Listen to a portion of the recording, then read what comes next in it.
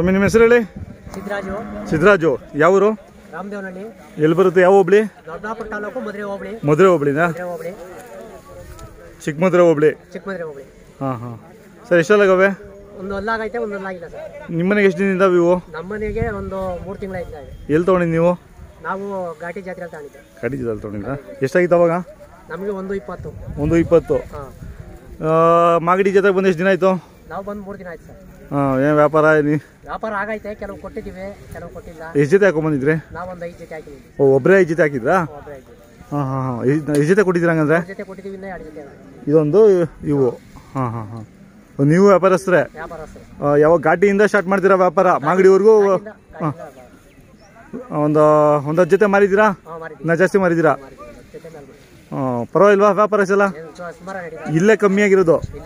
ಹಾಂ ಅಂದ್ರೂ ಮೂರು ಜೊತೆ ಮಾರಿದಿರಲ್ಲ ಪರವಾಗಿಲ್ಲ. ಕೆಲವ್ರಿಗೆ ಆಗೈತೆ ಕೆಲವ್ರಿಗೆ ಆಗಿಲ್ಲ. ನೀವೇನು ಹೇಳ್ತೀರಾ? ಅರವತ್ತೆಂಟು ಮೊಬೈಲ್ ನಂಬರ್ ಹೇಳಕ್ ಬರುತ್ತಾ? ಹೇಳಿ. ಏಳು ಎಂಟು ಏಳು ಎಂಟು ಆರು ಎರಡು ಆರು ಏಳು ಸೊನ್ನೆ ಒಂದು ಸೊನ್ನೆ ಒಂದು ಒಂದು ಎಂಟು ಒಂದು ಎಂಟು ಆರು ಒಂಬತ್ತು. ಆರು ಒಂಬತ್ತು.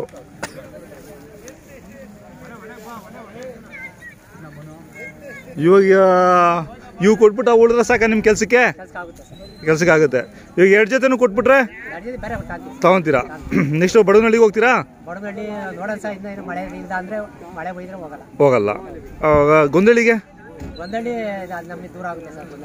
ದೂರ ಆಗುತ್ತಾ? ಇಲ್ಲ ಆ ಕಡೆ ನೆಲಮಂಗಲದಿಂದ ಹತ್ರನೇ ಅಲ್ಲ ನಿಮಗೆ? ಮಧುಗಿರಿ ಹಂಗೆ ಒಳ್ಳೆ ಮಳೆಗಾಲ ಸರ್. ಹಾಂ ಹಾಂ. ಅದರಿಂದ ನಾವು ಮಳೆಗಾಲದಲ್ಲಿ ದನ ಕಟ್ಕೊಂಡು ಆಚೆ ಕಡೆ ಇರೋಕ್ಕಾಗಲ್ಲ. ಹೌದಾ? ನಾವು ನೆನ್ಸಕ್ಕೆ ನೋಡಿ ಇವತ್ತೇನೆ ರೋಸಿ ಮಳೆ ಬಂದಿತ್ತು ನಮಗೆ ಮಳೆ ಬಂತಾ? ಒಂದು ಹತ್ತು ಬೀಳ್ತಿ ಸರ್.